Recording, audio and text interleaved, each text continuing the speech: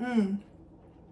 Mary had a little lamb. Now I know why they said she had it, cause not no more. Anyway, get you some lamb chops and wash them, of course, and then dry them off. Then you can go ahead and get ready for your seasons. I got me some Montreal steak seasoning, some garlic powder, some onion powder. I got me a little pepper. Got me some wash your ass in the shower. And you just gonna go ahead and lather that thing up, baby. You supposed to do that when you're washing your ass in the shower. Now for our chimichurri sauce, we're gonna go ahead and get us some parsley. We're gonna use our food processor to grind it up. I'm gonna use some cilantro. Then I'm gonna put it in there. I'm gonna get some garlic and I'm gonna put it in there. Then I'm gonna give me some crushed red peppers. I'm gonna put it in there. Some pomegranate molasses. Put it in there. Add you some sea salt, some fresh ground pepper, baby. You gonna put some olive oil in there and you gonna be generous. Ellen DeGeneres. And it should look a little something like that. Then you gonna put you some oil in the pan. It ain't gotta be cast iron. That's just my preference. you gonna make sure that heat is hot though, because we want a good sear on it. I don't cook them no longer than three to four minutes on each side. I don't eat leather purses for a living. Now you're gonna add you some rosemary, a garlic clove.